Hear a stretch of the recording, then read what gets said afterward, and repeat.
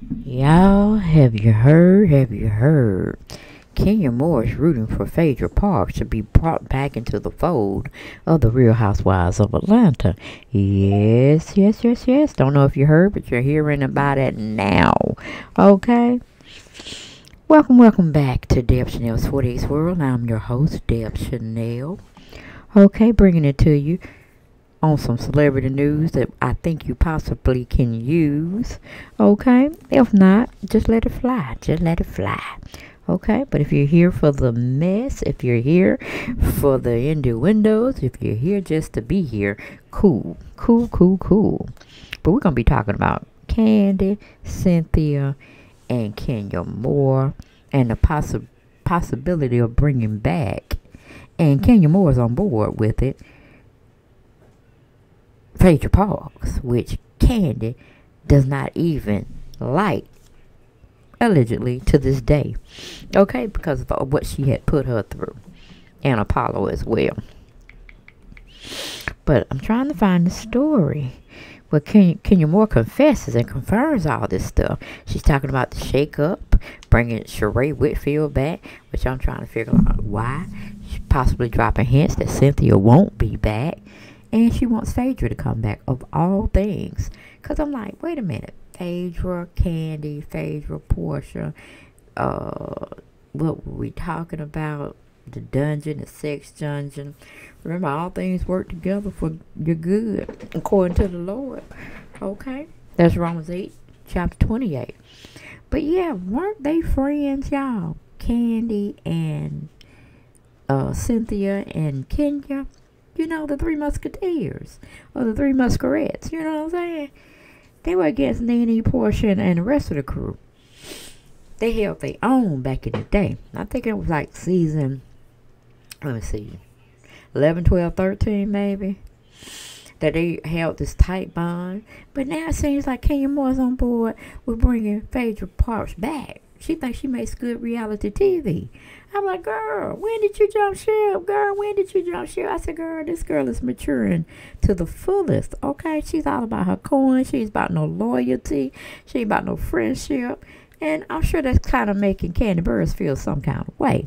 Because she's trying to do her other little endeavors as well. Talking about she want to be a producer on some stage plays and this, that, and the third. And I guess Cynthia's living a life with her husband, Maud, trying to do some things. I don't know. But this is the cast that they had for season 13. We all know that it didn't fare well a lot of people speculated because Nene wasn't there. You know, Nene makes good TV, but I don't think she could have held it down as either because it was treading water when she was on there. They tried to bring Faye, uh, Phaedra Parks back. She's back in the limelight. Yeah, that would be a great matchup to try to find the true story behind the dungeon mess as well as Apollo mess. And, ooh, child, that would be a story to tell.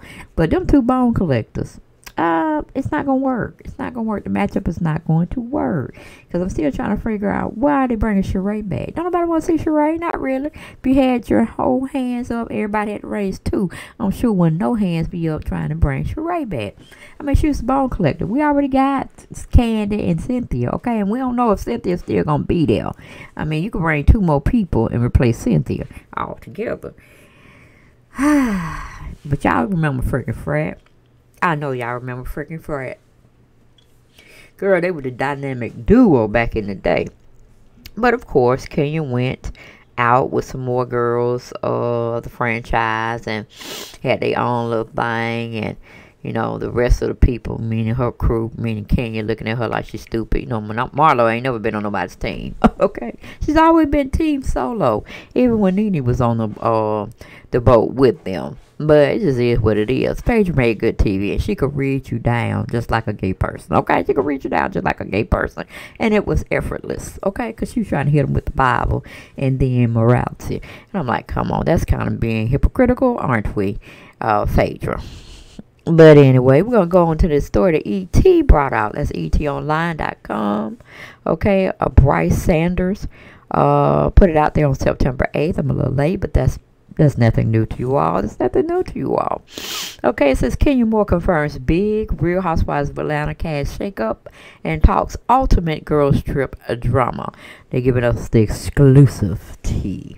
Okay, goes on to say in the article, Kenya Moore is playing coy about her return to the Real Housewives of Atlanta for season 14, sort of.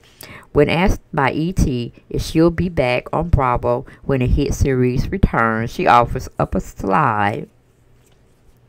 Well, we'll just have to see. Before confessing, she expects to start filming again in October. Man, if they didn't come back with Kenya, they didn't have no show. Just cause you're gonna say only Porsha, Kandi, who are really not friends, they just play nice with each other. Cynthia, Drew Sidora, gonna hold it down people probably wouldn't even turn on their TV. they wouldn't turn on their TV. But if they had them two in line with each other and possibly try to get into it with each other too, that makes good television. Because Kandi, um, no, we just need to probably see her spin off. But she can't hold a show by herself. And we know definitely Cynthia can. All right. She don't like to be called the auntie. And she's really looked at, at the, like the grandma. But, you know, maybe Mike is holding her down in LA and she wants to go and be with the LA Hollywood uh, production of the real Housewives of Beverly Hills or whatever they call them. I don't know. I'm, I'm kind of suspect with that as well. But I'm like, Phaedra, bring Phaedra back. I mean, if we forgave Marlo talking about the gays, surely we could forgive Phaedra for you know, putting a little here and there out there on Kandi Burruss. Just throw a little salt here and there. You know what I'm saying? Let bygones be gone. Bygones. Okay, put the ashes in the sea. But anyway, going back to the article, it says, um, she tells ET, uh, there will definitely be some cash shakeup, she tells uh, Laura Zim, Zima from ET. Some new faces and some old faces won't be here. That's what she said. That's she said. Some new faces coming and some old faces won't be here. So I'm thinking, okay, when you talking about old faces, are you talking about Cynthia Bailey, girl? Are you talking about Cynthia Bailey? Because she should have been out. We should have been throw her out with the baby. You know how to say, don't throw the baby out with the bathwater, but both of them had to go. And that means Cynthia and her, um, her, uh, what you call it, essence on the show. Really, really gone, gone bye-bye. Put her to bed put a fork in her. She's done. But anyway, it goes on to say in the article the season 13 lineup for Real Housewives of Atlanta, including or included Kenya, longtime wives Cynthia Bailey, Porsha Williams, and Kandi Burruss, plus newbie Drew Sidora. Rumors on the blogs, as they've known in the Housewives universe, speculate Cynthia may be out of the mix after more than a decade on the show, which she addressed in June on the Wendy Williams show. And if y'all didn't catch it, she did kind of kind of gave her a little goodbye speech. But you know, who knows? Bravo. Don't know if they coming or going these days. Because technically, they might need to get rid of the host. I'm just saying. Get rid of the host. Try something new. You know, pull some more stops out and revive the show. But right now, we still got it on uh, the ventilator. A uh, respirator. It, it still got a heartbeat, but it's not on its own. Okay, it's needing some help. All right, but going on, that was just my pun intended, not in this latest article. It's a word on the street is I may be out of a job, meaning Cynthia Bailey's telling Wendy Williams, the supermodel cracked. Here's the thing, nobody really wants to be fired. I mean, my first job was Taco Bell. See, that's what I'm saying. Cynthia went all the way back. I mean, nobody care about her heyday. You know, she could just say, you know, people lose jobs here and there. I had a good run. I saved my coins. I have many business adventures, and I look forward to the future. That's how she could have said. That's all all that was needed to be said. But now she go back to talking about some Taco Bell, her first job in high school. Like, girl, that's why we left you on the rock. And continued. I'm about like Kim Zolciak. Just sit there and look pretty. Don't say that. Just sit there and look pretty and don't say that. And I was like, I wholeheartedly believe Kim wasn't being racist when she said that. She just knew Cynthia didn't have it all upstairs. The elevator did not go to the straight, the top of the floor. So she had just tell, just sit there and be quiet. Sit there Make sense in your own little world, but don't say that. Don't say that. Don't offer nothing either. Uh, but going back to the article, it said, um, you know, Cynthia was comparing herself as being fired from the Real Housewives of Atlanta as uh, being fired from Taco Bell. She said, I wouldn't want to be fired from there either. I would want the option to leave if I wanted to go. God's will, not my will, will be done. I have had an amazing run. It's been 11 amazing years as a consistent peach holder. Okay, yeah Was that her goodbye speech to us? I don't know. Because, like I said, Bravo full of mess, full of crap. Eh, you know, all in all, she should have been gone, but it's still what it is. Okay, moving on. It says Porsha and Drew Peach holding fates, reportedly hanging in balance too, with Porsha focusing on filming a spinoff centered around her family. Meanwhile, Candiace all but confirmed her return to the show when speaking with ET earlier this summer. Okay, she says, "I love the oldies but goodies. I love the OGs as they call them. Can you offer us up when pressed on?" Who she might like to see return to the Real Housewives of Atlanta, which could be a hint that original cast member Sheree Whitfield would be in the Housewives lineup for the third time. Kings also name dropped Phaedra Parks. I was like, oh, God, that's what I'm talking about. Bring Phaedra Parks back. Bring her back. We need her. Okay, start up a petition or a poll. We need a girl. We need her.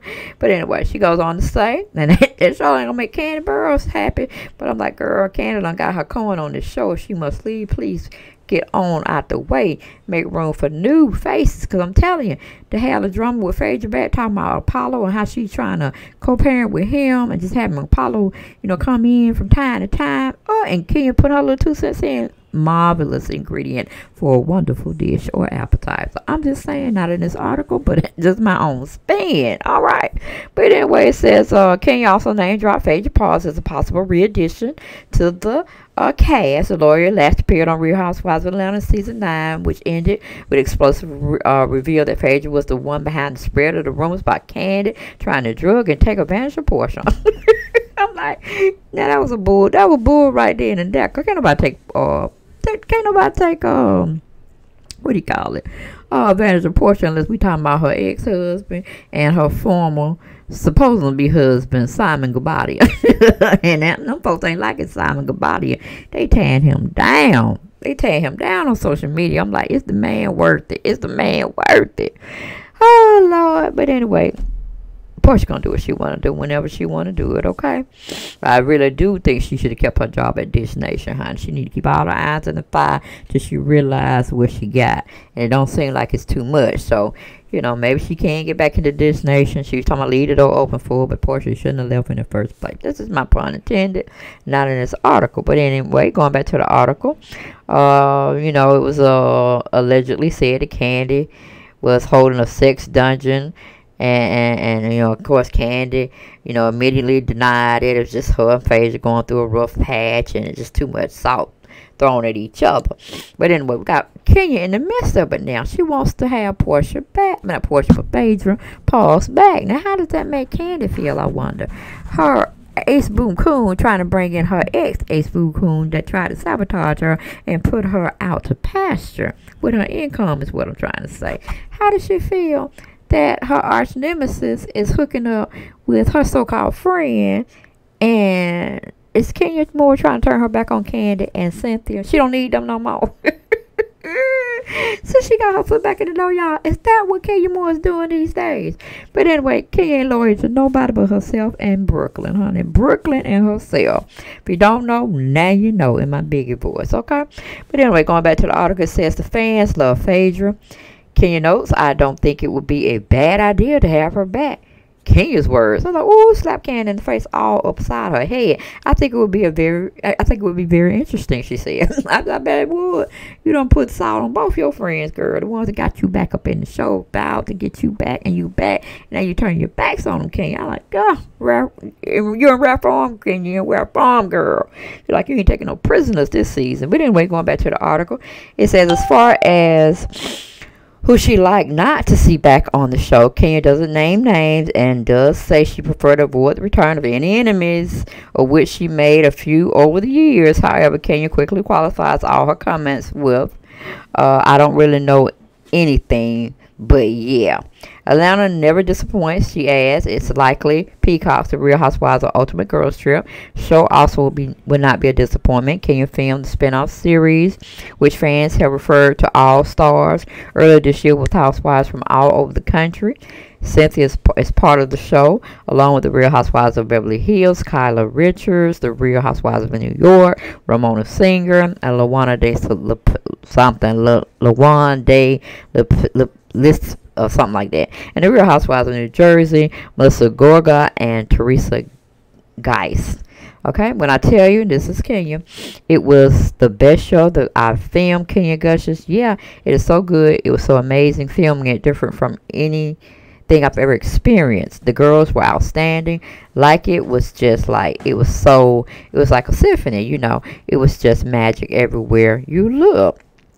And I'm like, okay, what are you talking about? Because you with uh, different different nationalities other than your own, Kenya, different cultures. What are you talking about, baby? Because they still women, you know, fairly uh lucratively rich, and they talking mess. Okay, they just talking mess. Okay, just different scenery for you or different culturalisms for you. But it's the same mess. Same Bravo mess. Real Housewives of Atlanta, Real Housewives of other states. Same mess no different day. Well, different day, same mess, they say. Okay, going back to the article, it says, You had the top people, she continues, but they were all interesting. What they brought to the table was different. We we broke the fourth wall a lot so then they would reveal how they felt in this moment from the respective shows or what really happened or if it was just like pulling back that veil and seeing what it's really like to be a housewife.